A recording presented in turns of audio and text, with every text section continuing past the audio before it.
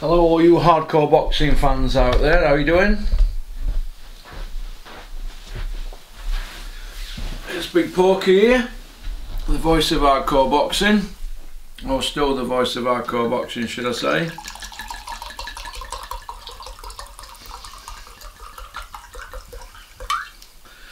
Shout out to uh, the gentleman who's got the the shop in Conisbrough. Is it Dave, the Asian gentleman, uh, for giving me that for Christmas? Thank you very much.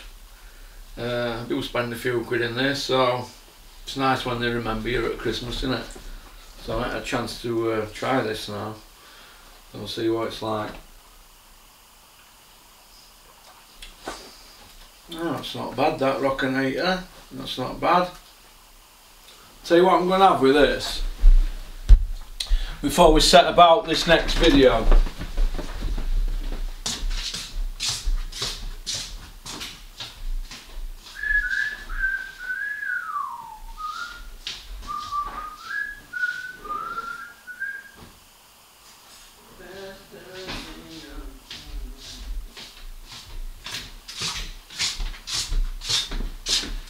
Yeah, it's this cheese. I don't know. It's like marinated cheese or something.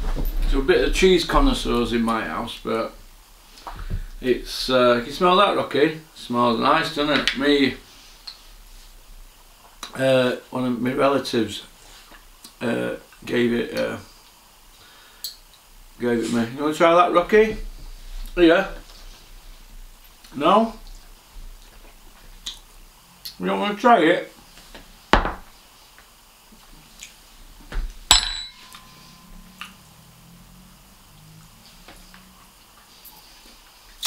You like that? Now, partial to a bit of cheese with wine. Right then, straight into business. Let's have a look. Joshua versus Pulev. Who cares? Pulev. Right. Pulev's 40 in next year. Right. So Joshua against Pulev. If Joshua gets beat against Pulev, where does he go? Where does he go? You like that, did you? Come here, come on. You like that? Hey? Hey? You like that? If Joshua gets beat against Pulev, he, he's like, he's going to be in a mess in here. There'll be no rematch clause. Bob Arum's not daft. No rematch. You don't get a rematch with a mandatory fight. This is why there's always problems when somebody works themselves into position at number one. Because there's no rematch clauses. Carl Froch did it. When Carl Froch wanted to fight Calzaghe, Frank Warren wanted options on him. So if he beat Calzaghe, he had to fight him again and then he had to have a further two fights with Frank Warren. So what's the point in Mick Hennessy investing money in Froch's career if when he gets to world title he's got to fight for Frank Warren? So Carl said no. They went the mandatory route, they got into number one position, then they said, Joe Calzaghe, we want to fight you. Joe Calzaghe had nine months to make a decision. On the last day, the 270th day, Joe Calzaghe vacated. Because if Carl Froch fought Joe Calzaghe and he beat him, Joe wouldn't have had a rematch and Frank Warren wouldn't have been able to get the belt back in a rematch because when it's a mandatory position, when you force the issue, you don't have to have a rematch. You can negotiate one if you want like Tyson Fury's team did with Wladimir, but they never had the rematch, did they? Tyson ended up getting a drug ban, vacated or retired, whatever it were, but mandatory positions can they always cause, they cause a lot of problems. Now, plus the Pulev fight against Joshua, every promoter in the world can bid to stage that fight because it's a mandatory. Now Pulev's saying he just wants to fight where the most money is.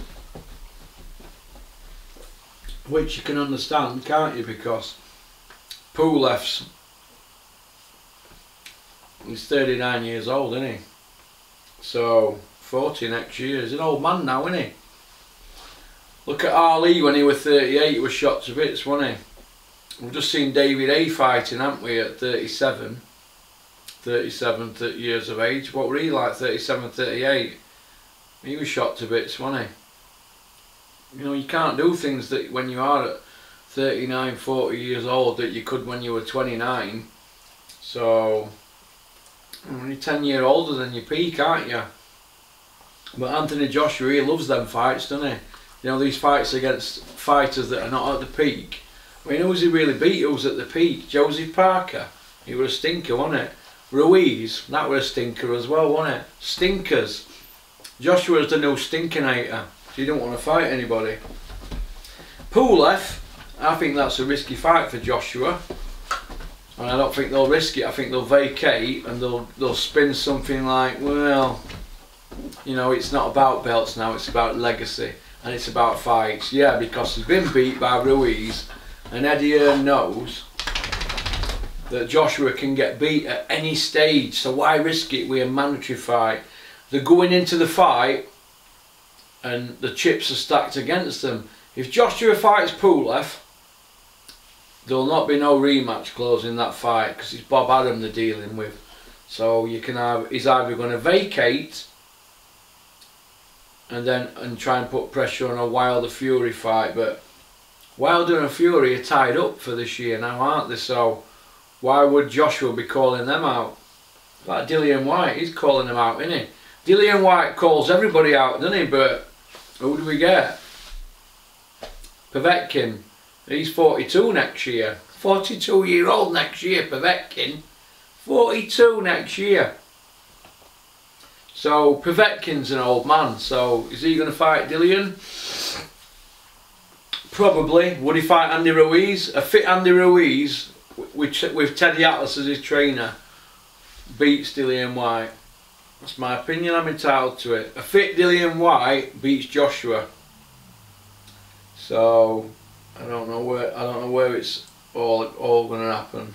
I don't know where everything's heading, sorry at the moment, but there's a lot of permutations and it's just up to us to try and guess in it, but I'm just trying to guide you. So, like I've just said, a mandatory position is a strong position for Pulev because he's got there. Now, if you remember, Hughie Fury could have been in that position if he'd have beat Pulev, couldn't he? Now, I was proud to say that I helped Hughie Fury with Dennis and Peter Fury get into that position. Proud to say I played a little part, but it didn't come off, did it? He never come off for Hughie, but it's a shame. But Hughie will come good at and so people need to get off his back. Keep digging Hughie out. Hughie can fight. Some fighters have a problem transferring what they do in gym to doing it on the big stage, but Hughie Fury goes all the way. What do you want? to drink of wine now? Some wine?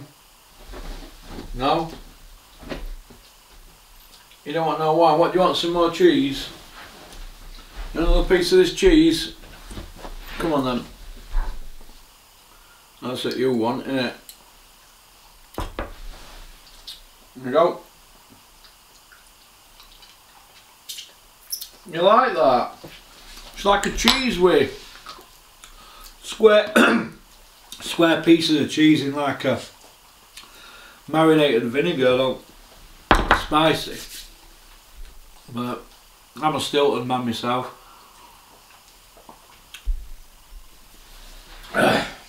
you keep licking your lips, that's spicy. I give Rocky a, uh, a king prawn, but it was a Vindaloo king prawn. And uh, he shot downstairs, he had his head in his bowl. I poured all cold water in his bowl.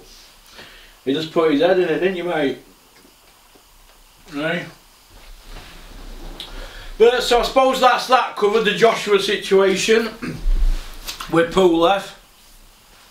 The big porky prediction. the big prediction. oh my god, my throat's burning me that. You alright mate? That's hot that, wasn't it? She getting me here trying to poison me. My prediction on that is that Pulev and Joshua, I don't know if it's going to happen. If it does happen, how can we get behind Joshua for that? Who, in their right mind, would want to pay a load of money to watch Joshua against a man who was pushing 40 year old? But we've already seen him fight Povetkin who were pushing 40 year old. I mean, they're either fat as pigs or 40 year old who Joshua fights. I think till Anthony Joshua fights Tyson Fury and Wilder, I think he's always going to be there to be shot at by fans, isn't he? So he's in a no, no win situation, but they keep saying they're going to fight these people and they're leading fans on, but I'm not so sure if Joshua's as popular as he's making out in this country now. I think that people might have just seen through him. But who knows, he's got a big promoter behind him and he's got a lot of power, so we're going to see, aren't we? But we're going to see. So peace out, keep on trucking, keep supporting boxing. It's a fantastic sport. Right.